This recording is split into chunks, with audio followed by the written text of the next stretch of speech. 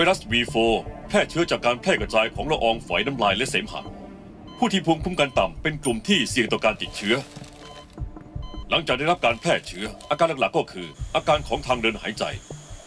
ไข้สูงต่อเนื่อง ไอ หอบหืด หายใจติดขัด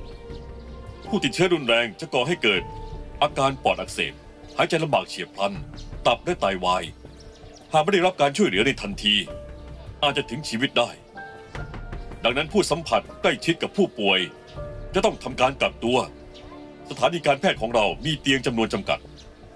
ดังนั้นห้องเรียนที่โรงเรียน จะสร้างเป็นเขตกักตัวชั่วคราว นักเรียนและผู้ปกครองทุกคนที่ใกล้ชิดกับออสการ์จะต้องทำการกักตัวที่นี่ ตอนนี้สิ่งที่พวกเราทำได้ ก็คือเลี่ยงไม่ให้การแพร่ระบาดหนักไปกว่าเดิม รอซีรั่มต้านไวรัสมาถึง ทุกคน ลำบากแล้ว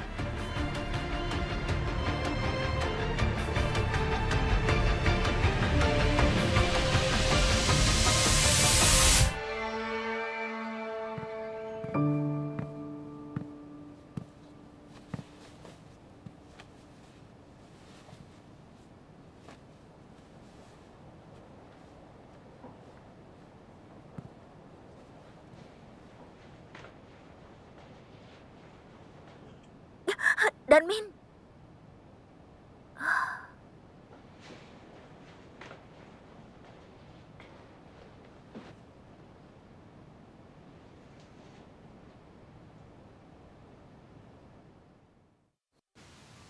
โหมเขตกักกันห้ามเข้า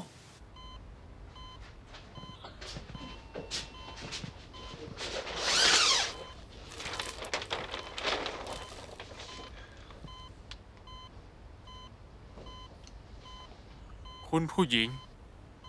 แดนมินสบายดีไหม ผมได้แพร่เชื้อให้ไม่ต้เขาองหรืเป็อนเปล่าห่วงเขาสบายดี คุณต้องดีขึ้นไวๆถึงจะไปเยี่ยมเขาได้นะ โอเคครับ พักผ่อนให้เต็มที่นะคะ ขอบคุณครับ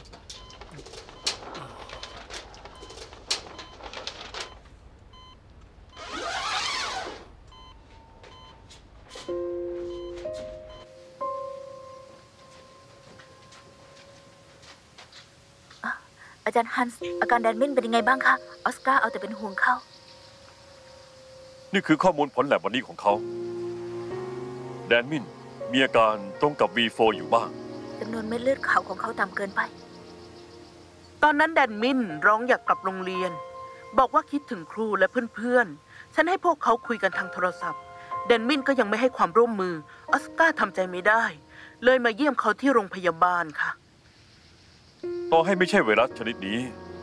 แบคทีเรียทุกชนิดที่อยู่ในอากาศ ก็อันตรายต่อชีวิตเขา แต่ว่าแม่ของแดนมินและพวกแอนสันก็เข้าใจบอกว่าไม่โทษออสการ์ที่ยังไงเขาเองก็ป่วยหนักเหมือนกัน